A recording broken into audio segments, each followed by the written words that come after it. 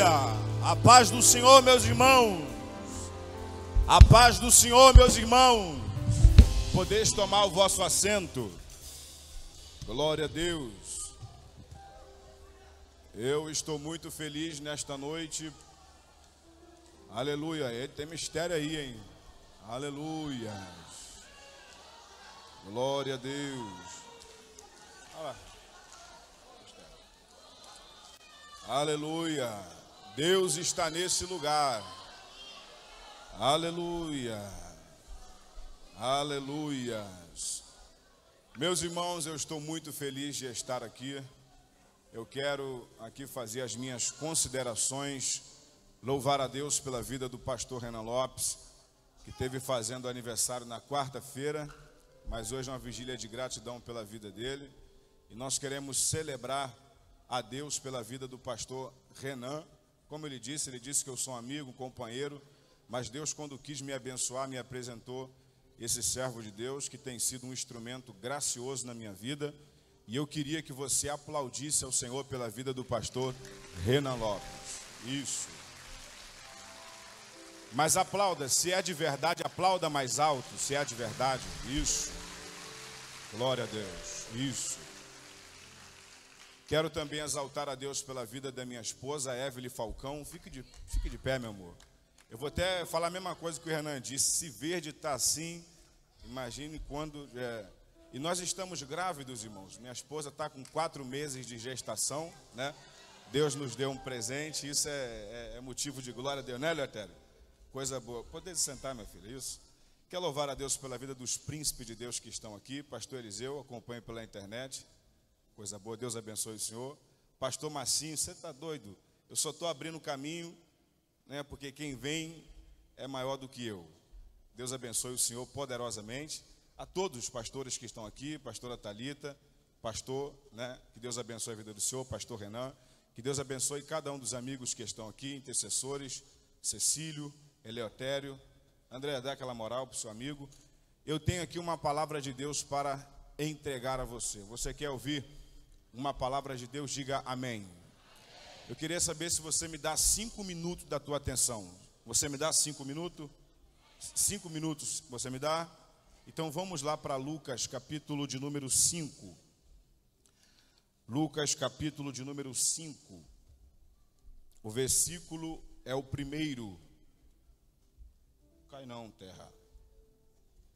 Versículo 1 um e versículo de número 5. Eu vou ler para não tomar tempo, amém?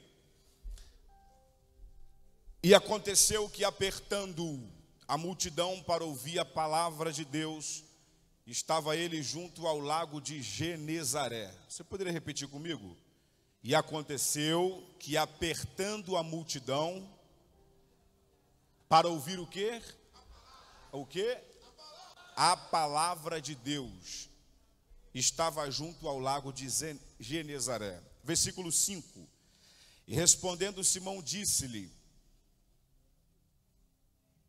Mestre, havendo trabalhado toda a noite, nada apanhamos, mas sob a tua palavra lançarei a rede.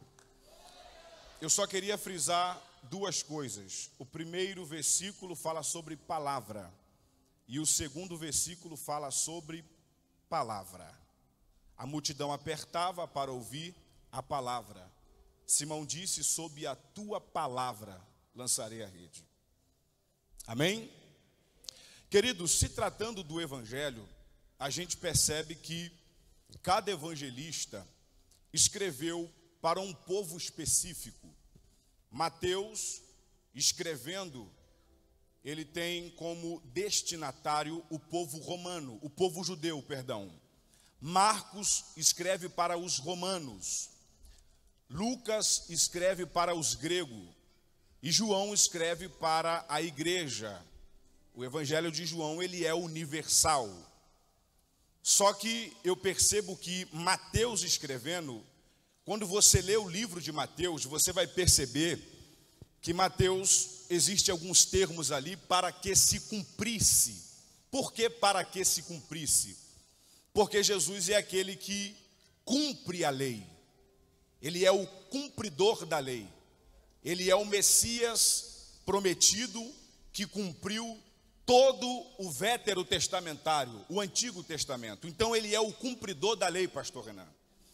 Marcos escreve para os romanos porque os romanos eles trabalham com a força, com a ação. Então Marcos ele relata mais os milagres de Jesus. É Jesus em ação. É Jesus trabalhando.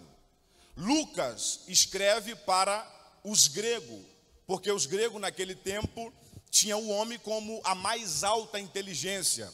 Eles acreditavam que o homem podia chegar à, à, à forma perfeita de ser. E Lucas escreve o evangelho para os gregos, mostrando que Jesus é o homem perfeito. E já João escreve o seu evangelho para a igreja. E se tratando dos quatro evangelhos, cada um deles tem a simbologia. Mateus tem o símbolo do leão, pastor Renan, porque Jesus ele é o leão da tribo de Judá. Marcos escreve no, no, símbolo, quer dizer que Jesus é o boi, porque ele não veio para ser servido, mas ele veio para servir. Lucas apresenta como símbolo o homem, porque Jesus ele é o homem perfeito. Ele habitou nesta terra, foi tentado em todas as formas e nada pecou. E o Evangelho de João, ele é escrito, eh, tem um símbolo como o de águia, porque o Evangelho é universal. Então o Evangelho não é só para uma classe específica de pessoa, é para todo o mundo. E eu gosto do Evangelho porque o evangelho ele quebra barreira. Se você percebeu, eu falei sobre quatro povos. Falei sobre judeu, falei sobre romano, falei sobre grego e falei sobre a igreja. Porque quem prega o evangelho prega para qualquer um. Não, vou repetir isso daqui. Quem prega o evangelho prega para qualquer pessoa seja para judeu, seja para romano, seja para grego, seja para branco, seja para negro, seja para rico, seja para pobre. Quem prega o evangelho prega para qualquer pessoa.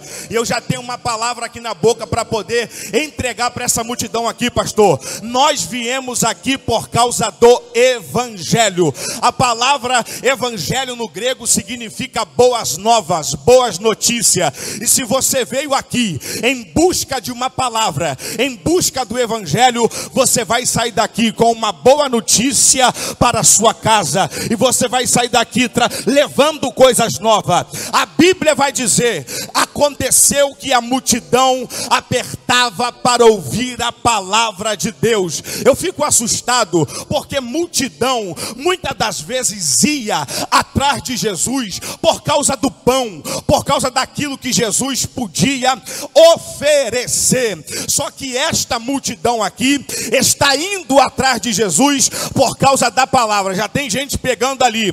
Muitas das vezes a multidão ia atrás de Jesus por causa do milagre, por aquilo que Jesus podia produzir.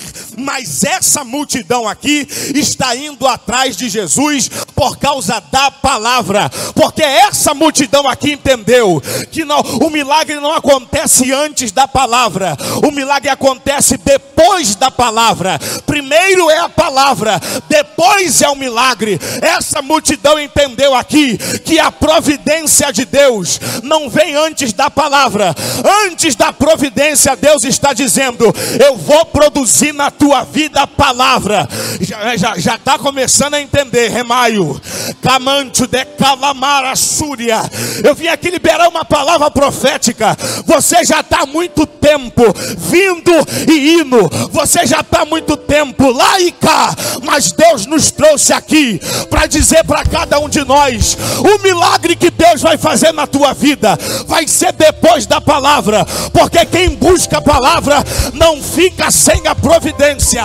Quem busca a palavra não fica sem milagre. Eu queria saber se a unção sem limite veio aqui para poder buscar milagre ou veio aqui para poder buscar a palavra. Eu quero saber se esse povo aqui veio para poder buscar milagre ou veio para poder receber a palavra. Enquanto você estiver debaixo da palavra, a maldição não vai chegar na tua casa, a morte não vai ser. Aí, terremaio, eu queria saber se esse povo aqui recebe essa palavra.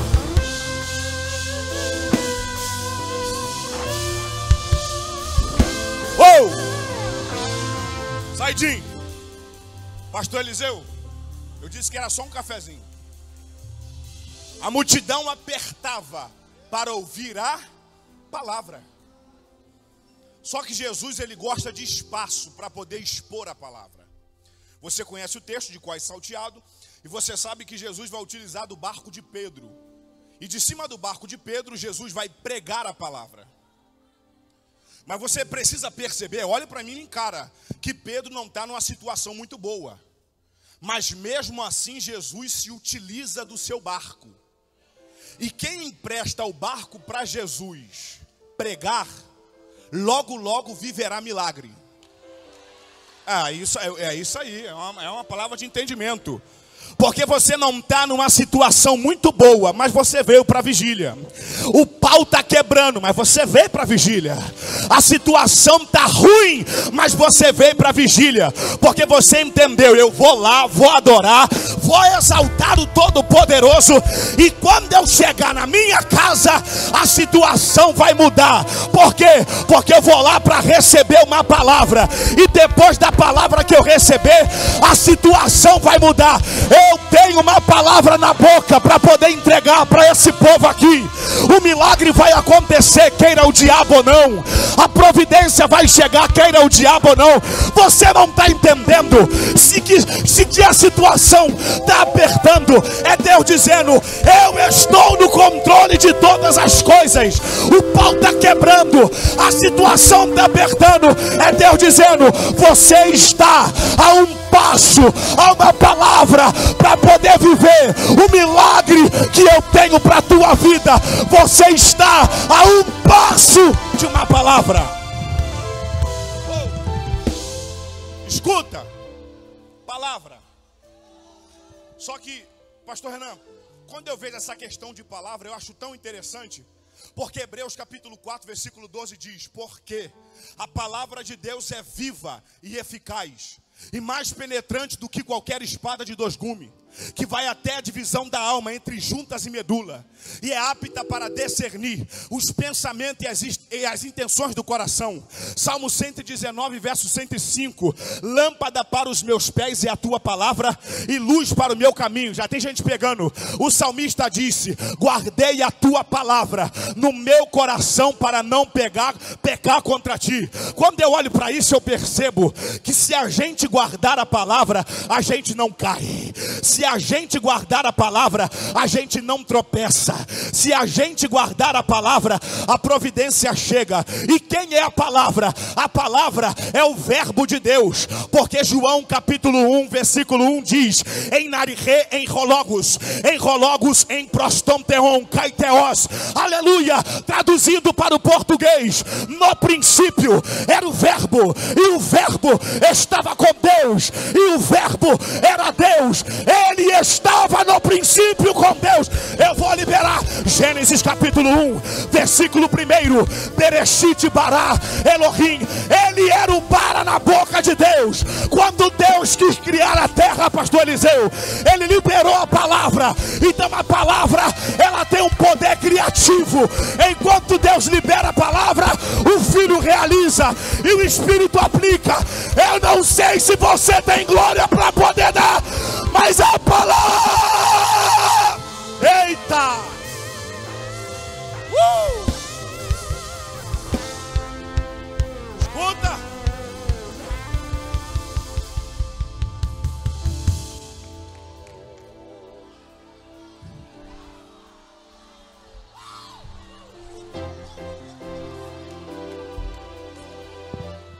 Deus está dizendo: para mim poder criar alguma coisa na tua vida, só depende de uma palavra. Falcão, eu não tenho recurso, a palavra tem.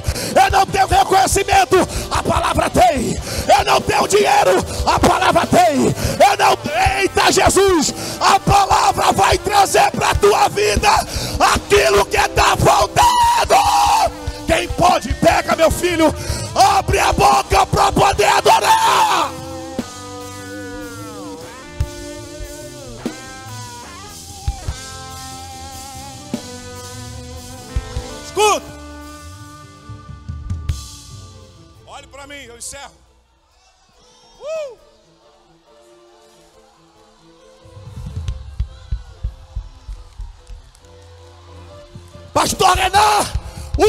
centurião, o servo do oficial, estava com o, o servo dele parado em casa doente. Jesus disse: Eu vou na tua casa, mas ele disse: Não precisa, porque eu também sou homem e autoridade. Digo a esse vai, e ele vai.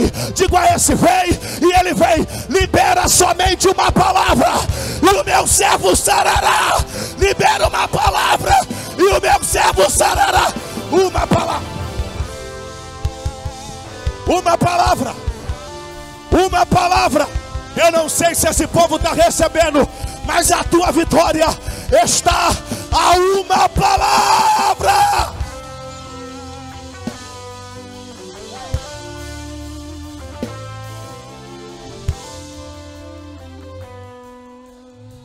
Eu encerro agora, pastor Renan. Versículo 5. E Pedro disse: Sob a tua palavra lançarei a rede. Ué, Pedro está dizendo: sob a tua palavra lançarei a rede. Tudo que Pedro está querendo é um milagre, porque enquanto Jesus pregava, ele ouvia. Enquanto Jesus pregava, ele ouvia. Aí quando Jesus disse assim: afasta o barco da terra, ele entendeu. Só vai funcionar se eu obedecer a palavra.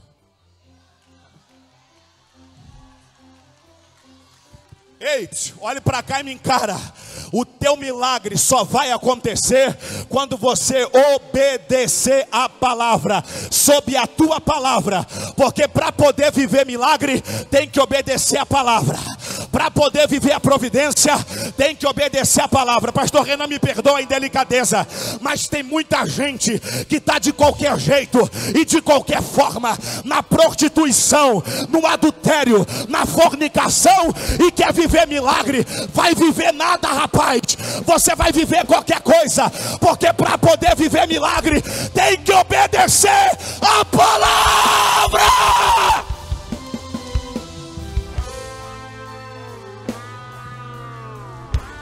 Ei, escuta.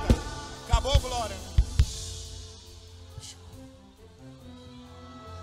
A Bíblia vai dizer, pastor Eliseu,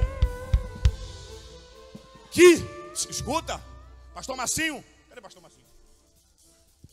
A, a, Bíblia, a, a Bíblia vai dizer que Pedro lançou a rede, está escrito, e Pedro colheu. Aí eu, eu, eu, a minha mente bugou. Por que colheu? O que a gente planta, a gente colhe. E a gente, opa, tudo bem, campeão? Deus abençoe. A gente planta na terra. Uma semente na terra faz a gente colher. Só que a minha mente bugou e o Espírito Santo começou a ministrar, pastor Renan, no meu coração ele plantou obediência e colheu milagre.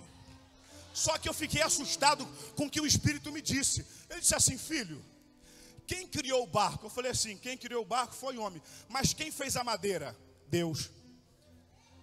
Não, ah, para de graça. Quem criou o mar? Eu falei assim: Deus.